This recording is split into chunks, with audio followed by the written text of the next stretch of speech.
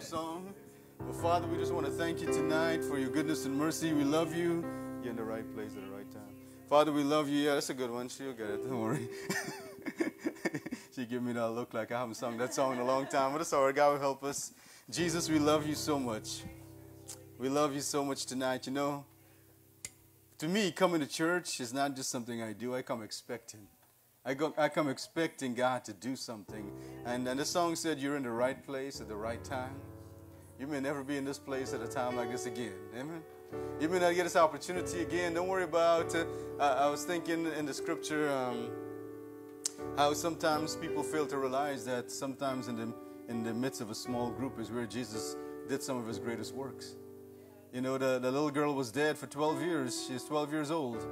She wasn't dead for 12 years. She was 12, 12 years old, and she's dead, and, and she was laying there. And, and Jesus took Peter, James, John, the mother and father, five of them. Right, Peter, James, John, mother, father, Jesus, and the girl, seven of them in church. And they get to witness the power of God. They get to witness the power of God. He raised that girl back to life where everybody else was on the outside. They didn't get to see what God, what those people get to see in the room. Amen.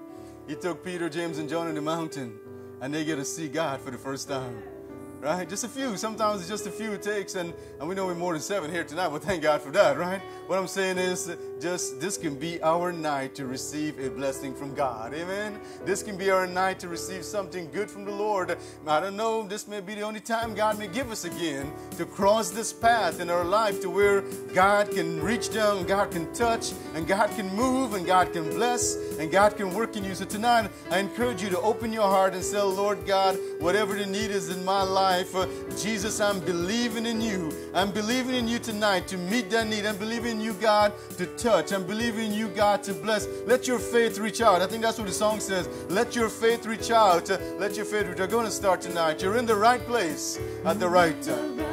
Yes, at the right time. God is moving by His Spirit. Church. You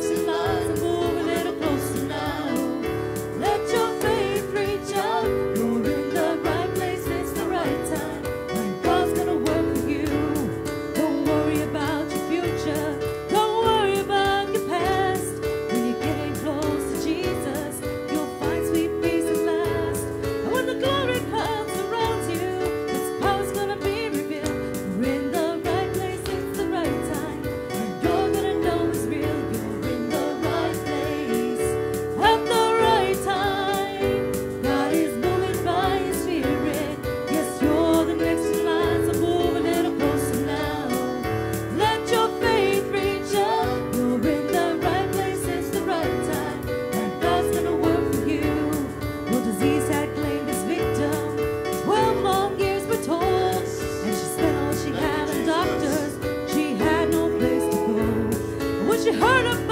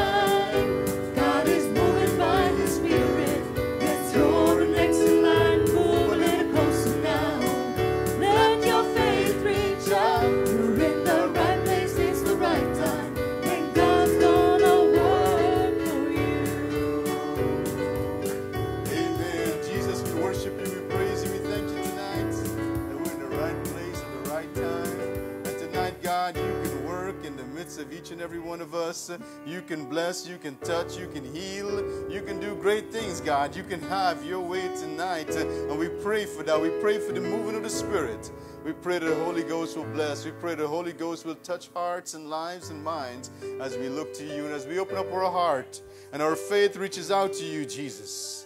Oh God, we're in the right place at the right time, and tonight can be our night to receive the miracle we've been so longing and waiting for for so many years. Tonight can be your night. In Jesus' name we pray and ask all these things. Amen. Amen. Amen. Praise the Lord. Amen. That woman was in a disease for 12 long years. But the day that Jesus came across her path, she was in the right place at the right time. Amen. She could have stayed at home. She didn't have to go in the crowd. She heard about Jesus, the Bible said, and she came to where he was. Like we're preaching about this morning. She had a meeting. She met Jesus. But she got up from where she was and she went. And uh, I don't know, maybe she was singing a song. Probably not. It wasn't written back then. Maybe she had her own version. Today is my day. I'm sick and tired of being in this condition for so long.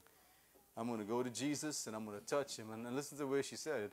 If I can but touch his garment, he said, I shall be whole. That's, that's faith speaking. She said, if I can just touch Jesus, I know that whatever was plaguing my life for 12 years can be done just like that. And the Bible said, if all those people are around Jesus, touching him, she was the only one that really connected. Because he said when she touched him, he perceived that virtue went out of him. And that word virtue is translated as power. Jesus knew, he was like, whoa, it just got weaker. What happened there? Somebody sucked some energy out of me. Amen. Not all those other peoples were there touching him, but nothing happened because uh, they weren't, they didn't have the faith that that woman had. Amen. That and they weren't as desperate as she was. Sometimes we got to get desperate for God. Amen. Amen. We got to get desperate for a touch of God and say, God, I'm in the right place. I'm in church tonight.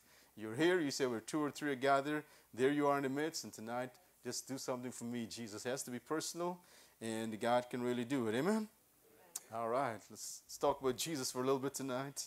In Ephesians, Ephesians chapter 3, verses 14 through 20.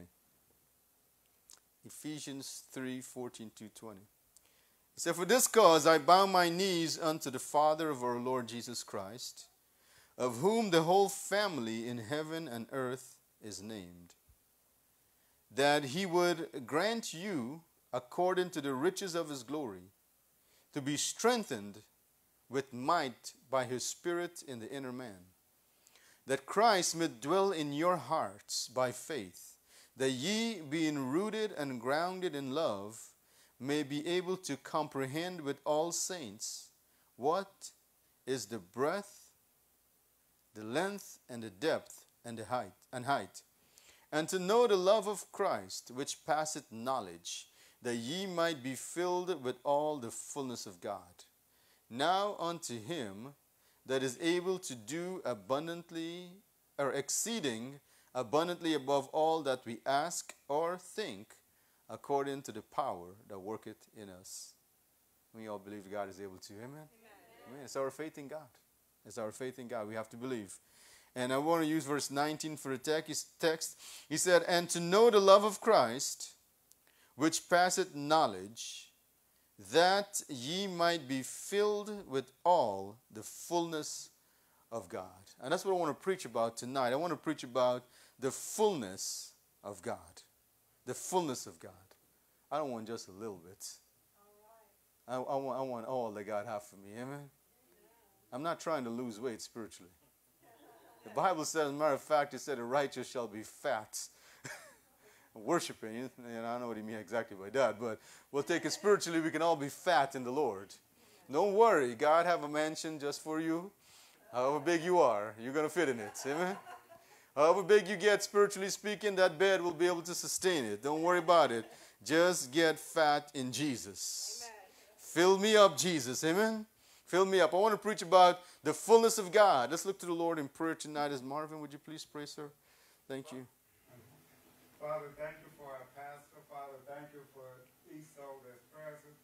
Father, touch each one heart according to their individual need. Father, mold and shape us into what you want us to become. Uh, as we, as pastor ministry word, let us understand your will. Father, bless the gift. Um, Father, bless the message and the messenger in Christ's name. Amen. Amen. Amen. Thank God for the gift. We need a gift. well, you got to kick her though. I want to preach about the fullness of God. And while he was praying there, a story came back to my mind. I didn't plan to share it, but it came to my mind about, um, and I don't know how accurate it is, but I think I read it or heard somebody shared it. And it was talking about Alexander the Great, the one that, you know, the leader of Greece, the ancient, ancient Greece, Greek Empire. And it was saying that he was there with his soldiers and all his men at a certain place. And they were just sitting there, you know, resting, relaxing, and stuff like that. And this man came up to Alexander the Great, and, and you know, when he was given permission to come and and make his petition before him, the man said to Alexander, he said, You're rich. You have all this wealth. You conquer all these land, all these things you claim for yourself. He said, I, I want you to pay off all my, my debts. I want you to, to give me enough money to pay off all my debts so I can start all over again. and his soldiers thought it was funny and thought that Alexander was gonna was getting ready to kick the man out and you know throw him out for asking such a crazy request. But Alexander didn't do that. He looked at the man and said, Okay, I'll give it to you. And when they asked him why he did that, he said, Because the man believed that I could. And the man believed that I will. And the man believed that because I have the ability and the willingness to do it, he asked, and therefore I'll do it. Because he had confidence in me. And so it is also, we can have confidence in God and ask God, God, I want the fullness of the Lord. I don't want just a little bit of Christianity. I don't want just a Sunday morning religion or a once a week religion or a little bit here and there. I want the fullness of God.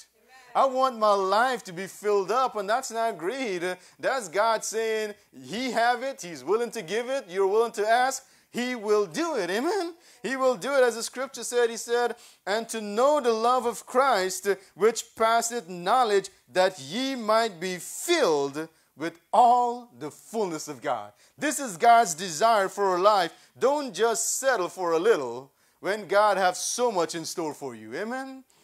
God wants you to be filled to the brim, to the point of overflowing. When David made his prayer in the Old Testament, he didn't say, My cup is half empty. He didn't say that my cup is three quarters. He didn't even say my cup is full. He said, My cup runneth over. Amen. He said, My cup runneth over. He said, This is the kind of lifestyle I want in God to where my life is overflowing with the fullness and the blessing of God. As the song said, Fill me up.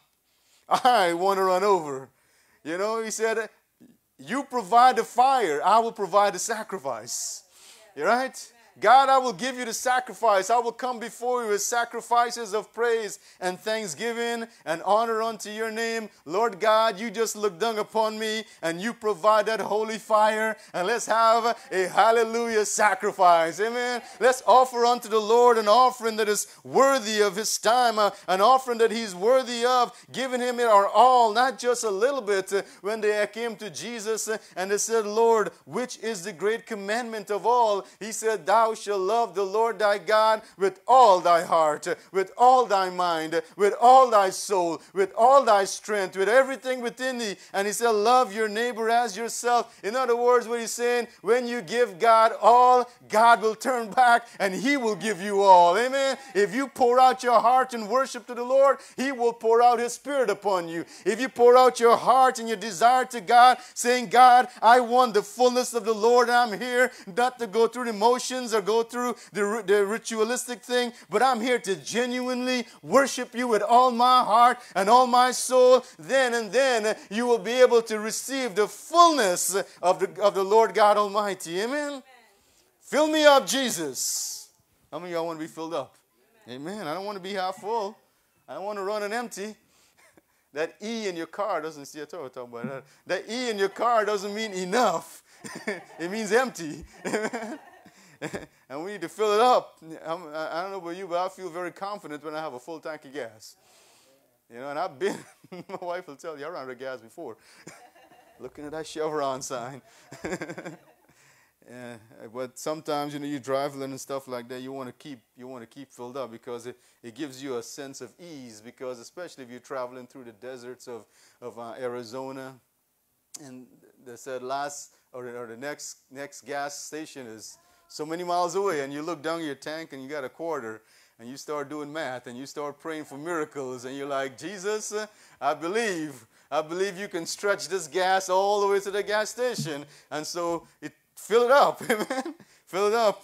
Open up yourselves to God and let Him fill you up. And, you, and uh, this is what I was talking about, uh, Rachel. Start your day's journey on a full tank of the Holy Ghost. Amen. See, it's right here. Start your day's journey on a full tank of the Holy Ghost, Holy Ghost fuel, if you will. Then, before you go to sleep, refuel, right? Refuel so you can be ready for the next day. Fill me up, Jesus. Fill me up with your salvation, your deliverance. Fill me up with your spirit. Fill me up with your power. Fill me up with your anointing. Fill me up with your presence. I don't want to just have a little bit of God when there is so much of God available to me. I don't want just a little bit of faith when God said you can have all the faith. When He said, I can open your understanding and your, your heart and I can fill you with faith and I can fill you with power. He said, You shall receive what?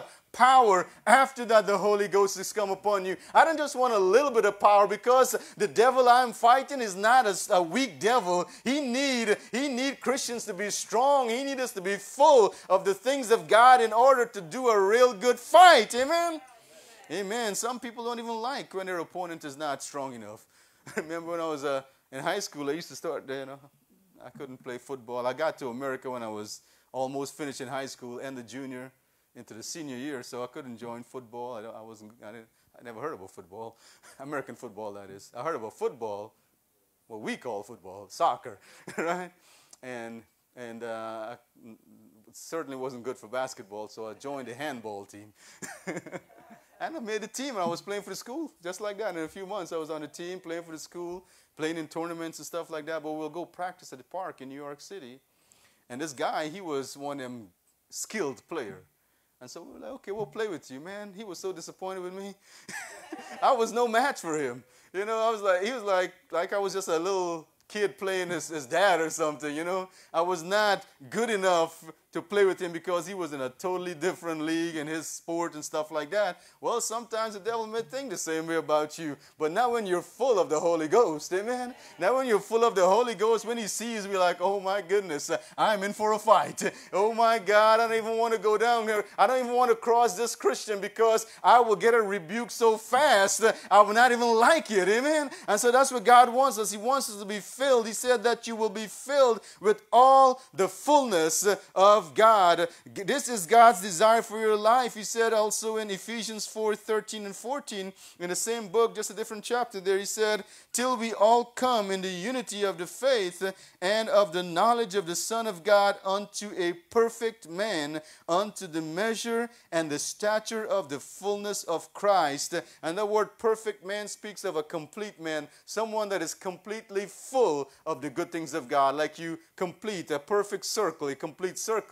And so that's what God wants. He doesn't want us to have a half circle, He doesn't want us to, to just uh, do a little bit here and there. He wants us to be filled. God wants us to be filled. Amen. God wants our life to be filled. When He give us joy, He said, fullness of joy. When He gave us peace, He said, My peace have I leave with you, not like the world give. Amen. He said, Don't let your heart be troubled. You believe in God, believe also in me. In my Father's house are many mansions. God is not up there building us a little shack or lean to. He's given us the fullness of heaven. He's given us a mansion, streets of gold, eternal life, not just an ordinary life, not just a temporary 10 years in heaven, everlasting life. Amen. Everything about God to the fullness. When God saves us, it's not a just a, oh, I'm just going to deliver you from this and deliver you from that. He wants to deliver us completely from everything. Amen. That's the God we serve tonight, a God of fullness. And so here he's saying, till we all come in the unity of the faith and to the knowledge of the Son of God unto that perfect, complete man, unto the measure and stature of the fullness of Christ. Amen. Of the fullness of Christ. God wants us to measure up like Jesus was. He wants us to be able to walk in the shoes of Christ and be like him in every in every every way. In verse 14 he said that we henceforth no more be no that we henceforth be no more children tossed to and fro and carried about with every wind of doctrine by the sleight of men and cunning craftiness whereby they lie in wait to deceive. There are so many today that just waiting for a chance or just their whole ministry is based upon deception. They just want to preach the good things and tell people all the wonderful things about this and prosperity, this and that, but they won't tell them the whole gospel. They won't tell them the whole gospel, and because of that, they're robbing people from the power of God. They're robbing people from the power of God. God said, Sin shall not have dominion over us. God said that we are more than conquerors through Him. God said, I can do all things through Christ, which strengtheneth me. That's the God I serve. Amen. That's the God I serve that gives us the power and the ability to overcome all these things. And so, how do we overcome it? When we are filled up with Jesus when our tank is full with the Holy Ghost power. Amen. When we are prayed up uh, and our life is blessed by the Spirit, uh, and when you have this kind of lifestyle, when you live, if, if when your life is filled up with God, there will be no room uh, for Satan to put anything else in it. It's easy to be a Christian. I always tell people it's easy to be a Christian. Satan can't fill, put anything in your life. Y'all ready for this? Is deep deeper, deeper, right? Satan can't put anything in your life if there's no room for it. Amen? He can't put anything in our life if there's no room for it. Right. He can't put fear in there if there's no room for fear. He can't put bitterness in our life if there's no bitter room for it. He can't put jealousy in there if there's no room for it. The only time we can come in if we're not filled up with God. Right. And he said, God is light and in him is no darkness at all. And so when God comes in and light comes in and our life is filled with light, guess what? There is no room for darkness. Amen. There is no room for darkness. And so I want to give, when the devil come and said all these things, just let him know, sorry, devil, there's no room. No vacancy. My life is occupied. Like, you know, you're at the park and you try, you got to use the restroom really bad, and there's one porta potty out there and you go by and you see that sign says occupied, you can't get in. it's occupied. you got to stand there and wait and hope that that person will hurry up and get out of there or just go in the tree line, whatever. but it's occupied. You can't get in. Amen. And so it is when your life, when Satan comes and he's looking to bring something in there and he see that your life is full of God. Your life is full of God. Your heart is full of God. Your soul is full of God. He can't get in. Amen. I don't, I don't have to worry about Satan get, get a stronghold in my life if my life is filled with the power of God. Amen. If my life is full of God, when he wants to come and give you a bag of worries, just say no room. I'm sorry, I have no room for it right now. Amen. He come and he said, Okay, here, I want to give you this new custom design argument that you can really enjoy with your husband or you can really enjoy with your wife. Just said, no room, devil. I don't have any room for anything. Thank you for your offer. It all sounds swell. I belong to Jesus. Amen. It's a wonderful uh, thank you, but I don't have any room for it. Like somebody, you know, you stuff yourself at a Thanksgiving time and they bring that lovely dessert that you love so much, and you know you see it and you say, wow, that looks pretty good. I'm sorry, I don't have any room. I'm full. I can't, I can't fit anything else in there. If I take another bite, I'm going to throw everything up. I'm full. There's no more room. Amen? And that's the way we can live our spiritual life. No room. No room. I don't want that argument. I don't want those worries. Maybe you come and said, hey, I want to give you this beautiful box wrapped by my own hands that is full of fear. Full of fear. I designed it just for you. Sorry, devil, no room. Amen. No room, devil, no room. Maybe he come to you and said, you know, I, I, have plenty of time at work, so I'll write all these things there. I get a kick while I'm writing it. I'm preparing it, the message, I'm, laughing, you know, I'm, I'm enjoying it because I can just picture myself saying, sorry, devil, no room. No room. I preached a message one time. sorry, devil, I'm kind of busy right now. Talk to the hand. I ain't got time for you, right? Go, go, go bother somebody else. I'm busy. Maybe you come to your life and say, Look, I have this shapely bottle of temptation that you can enjoy. Can quiet. The shapely bottle of temptation that you can you can numb your mind with and create all kind of problems in your life and destroy your liver in the process. Sorry, devil, I have no room for it. Amen. I have no room for it. Maybe you come to your life and said, I have all these issues. Some of them are major, some of them are minor, but they're all wonderful. This can help you. I get a kick right in these things. you say, I have all these issues, major or minor. This can, this can keep your mind occupied and active for days. Think about the brain exercise that it will do for you.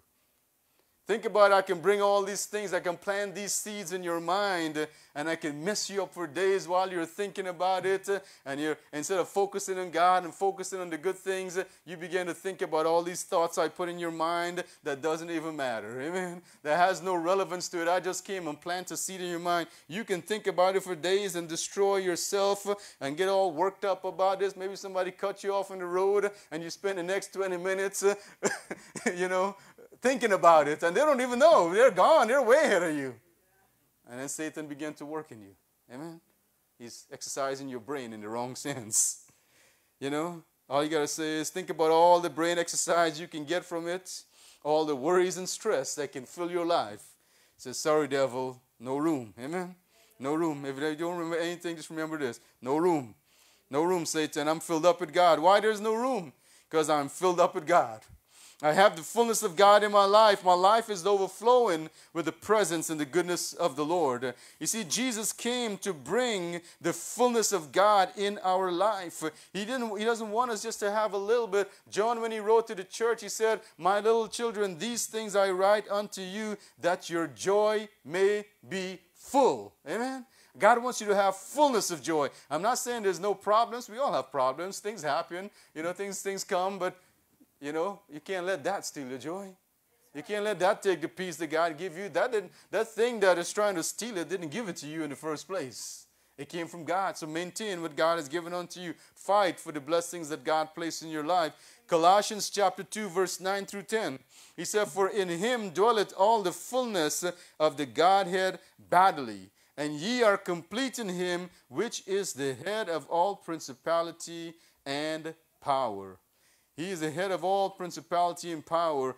He completes us. He completes us. Jesus uh, completes us. I don't need, and if you read on in, in Colossians, uh, what they were trying to tell the Christians there, use these people that we read about earlier, these false teachers come into the church and say, well, now that you're saved, you're a Christian and everything, your life still needs some help. You need philosophy. You need this. You need that because, you know, God is not everything. And so Paul wrote to them and said, uh-uh. He said, we are complete in Christ. Amen. We are the complete person in Christ. We don't need philosophy. We don't need all the things that the world has to give. Uh, we don't need all those things. And I read certain those things, you know. I'm messing with my wife there. I'm studying psychology right now. I am reading this book about psychology. So I tell her she can I'll set up a nice chair at home and she can tell me all her problems. She's not buying into it though.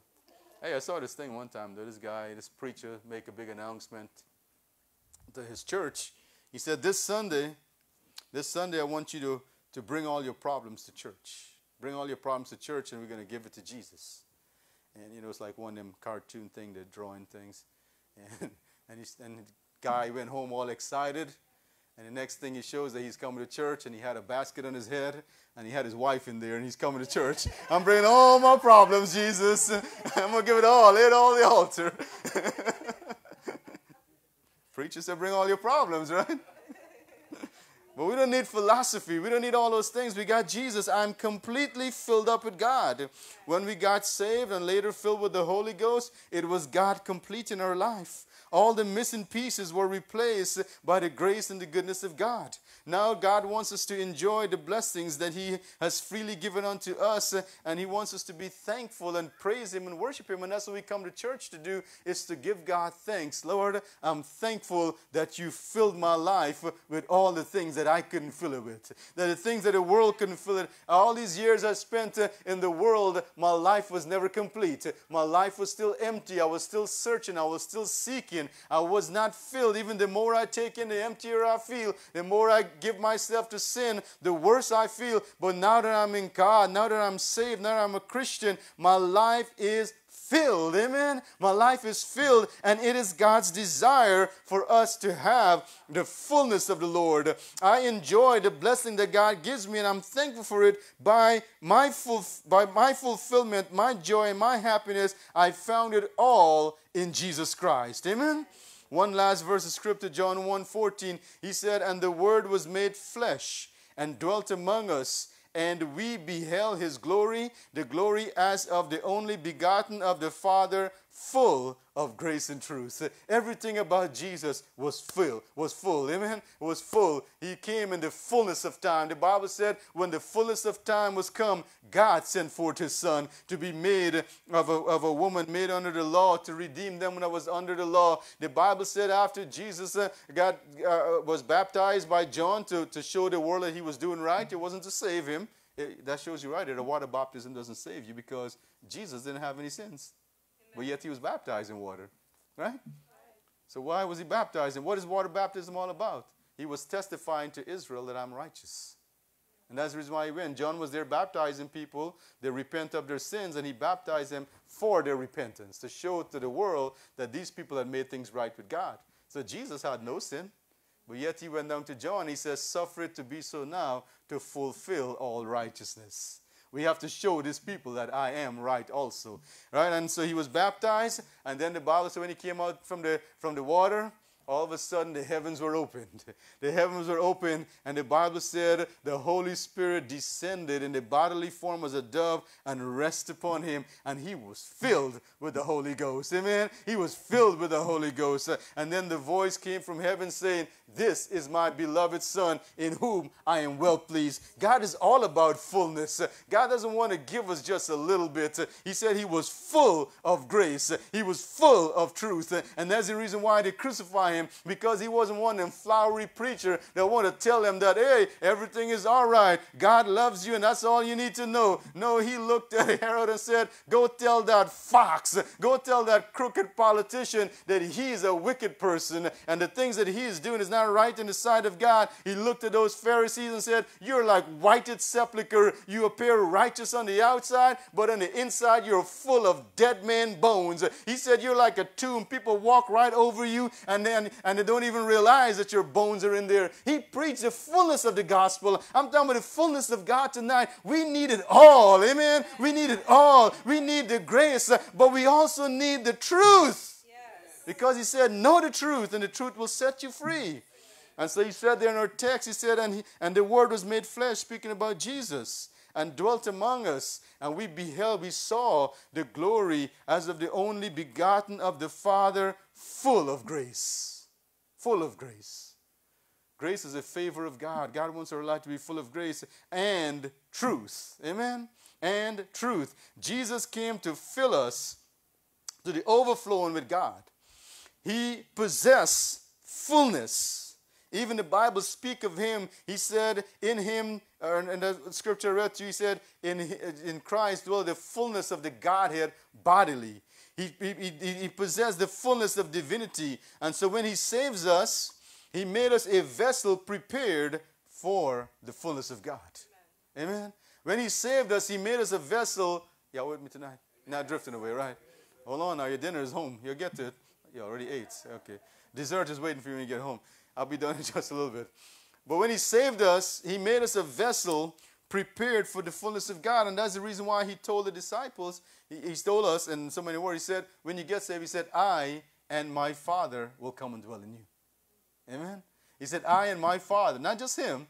He said, I and my Father will come and dwell in you. There's, there's three in the Godhead. And then he said, now that you are saved and now that you have the Spirit of the Father dwelling in you and you have the Spirit of the Son dwelling in you, he said, now you need one more yes. to complete the cycle. Amen. Yes. You need one more to complete, to become that complete man. You need the Holy Ghost.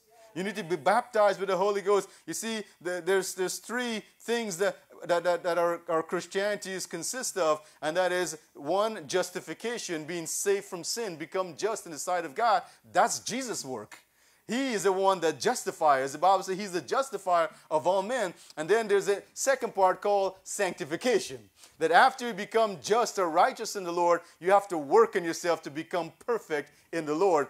Who's, the, who's responsible for that mission? The Holy Ghost. Amen. He's the one that sanctifies us. He's the one that work things out of our life and work things in our life. Amen. And so we need the Holy Ghost to sanctify us. And when we are justified and sanctified, one of these days we're going to be glorified. Amen. The Bible said that he will be clothed upon. If the rapture take place, he said, Behold, I show you a mystery. We shall not all sleep. He said, but we shall be changed. Just like that, in the moment, in the twinkling of an eye, he said, the first trumpet will sound and and those who are dead and in their tomb, they'll be, they'll be resurrected to life. And he said, We that remain and alive shall be caught up, and so shall we be with the Lord. He said, This mortal shall put on immortality, this corruption shall put on in, incorruption. Who's the one that's responsible for that? God the Father. Amen. He's the one that's going to give us that glorified body that will be able to endure for all of eternity. Amen. Just like Jesus rose from the dead with a glorified body, we will will have a glorified body also. And the Bible says when we see him, we will, we will be just like him. Amen. We'll be just like Jesus, having if you ever read the book of Revelation, our eyes, what color are our eyes going to be? I don't know. It's going to be amber. It's going to be glowing just like Jesus. Amen? what color the skin's going to be? It's going to be like brass burned in the furnace. I'm already there. Amen? I'm closer and closer there. Amen? he said, we'll be just like Jesus, right? We'll be just like Jesus. He said we, we'll see him as he is, just as he is. we'll change just like him. so God wants to give us the fullness. And then, this, like I said, is the work of the Holy Ghost. We'll skip all that. Now we'll talk about the fullness of God. the fullness of God. I'm talking about the fullness of God. This is your time in the house of the Lord. God doesn't want us to leave with just a little bit. Well, I know a little bit about Jesus. I know a little bit of scripture here and there. I know a little bit of this. I've tasted. No, no, no. Come on now. Let's get the fullness of God. Amen. It's available to you. Don't rob yourself of the goodness of the Lord tonight. God said in our Bible reading, He said, and He said, I'll read a little bit more to you. He said, that ye may be able to comprehend with all saints what is the breadth, the length, the height, all. He wants us to comprehend it all. He wants us to know how deep, how wide, how tall, all these things are. Amen. And he said, And to know the love of Christ which passeth knowledge, that ye might be filled with filled with all the goodness of God, now unto him that is able to do exceeding abundantly above all that we ask or think, according to the power that worketh in us. Thank God tonight, God is able to fill our life to the overflow. Amen. He said if we can understand the depth, the height, the length of it all, God can do it for us. If God can bless us, God doesn't want us to have just a little bit of Christianity, just a little bit of religion here and there. No, He said it's for us to be with the fullness of God. Amen. And you can come to you can come to this when I wrap it up with this. The fullness of God. God's desire is to fill us to the overflowing. God wants us to receive tonight the fullness of forgiveness. Not just a little bit of forgiveness, the fullness. When a person comes to Jesus and asks him to forgive them, he just don't forgive the bad things and leave the good. He forgives it all. Amen. He cleaned the whole, he cleaned the, the slate, if you will. He wiped out the whole record of sin. He said, as far as the east is from the west, so far has he removed uh, our transgression. He does a complete job. Complete restoration. God restores us completely to him. David said in the Psalm, Psalm 23, He restored my soul. And we all know what restoration is. You can take an old piece of furniture and you can restore it and make it brand new, completely brand new in a sense. Amen. Restoration. He wants us to have the fullness of life. Isn't that what he said? He said, A thief coming out both for to steal, to kill, and to destroy. I am come that you may have life. And that more what? Abundantly. That's fullness to me. Not just a little bit of life. Is there going to be ba- there going to be battles and struggles, but I don't have to focus on the battles and struggles. I can focus on the life giver. Amen. As has been shared many times, don't focus on the problem, focus on the solution. Right? Focus on the solution. Focus on the God that can help us through all this thing. The God that can turn can, can, can, can turn things around. He wants us to have the fullness of truth, not just a little bit. The fullness of light. Our life can be filled with the light of the glorious gospel of Christ. No room for darkness. Jesus said, Jesus said in the gospel as he was teaching, he said, If the light that is in you be darkness. He said, How great is that darkness? If the light that God placed in you, if you've allowed some darkness to enter in there, he said, How great is that darkness? Right? God doesn't want any darkness in there. He can dispel the darkness. God is light, the fullness of grace, the fullness of mercy, the fullness of power, the fullness of righteousness. This is all a sermon in itself, each one of them. But don't worry, I'm done. the fullness of righteousness, the fullness of glory, and the fullness of riches. The fullness of riches. I was thinking about this, and the Bible made the statement that God, all the gold in the world is the Lord's, and that He owned the cattle on a thousand hills. And that's just a figure of speech in a sense. But if you think about a thousand hill, if even if you have one, that's a thousand. That's a thousand. Right? If you have 10 on each hill, what is that? I don't know. 10,000? what if you have 100 on each hill? What if you have 1,000 on each hill? You know, what if you have a, a, a 100,000 on each hill? He's rich. He's rich. God is rich. Amen. God is rich. So God is not against the rich because he's rich. God is not against those who have blessings in their life because he gives the blessings. Amen. And so tonight we're talking about the fullness. All these things, uh, all these things tonight to God wants in our life, that our life will be filled with the fullness of God. With the fullness of God. And so tonight, as she plays and sing, I don't know what she's gonna sing tonight, but let's let's understand tonight, this message tonight, that God wants your life to be filled. Don't run on empty. Fill up your tank tonight. Amen. Don't run on empty. Fill up your tank. Fill up your, your spiritual tank. Fill up with all the goodness of the Lord. You're in the right place at the right time. The altar is open. Just come, pray, seek God. God, just, just raise up your hand, whatever. Say, God, just pour it out in my life, Jesus. God, you know what I need. She's going to pray and sing. let's all spend some time in prayer tonight. Jesus, tonight I preach your word about the fullness of God.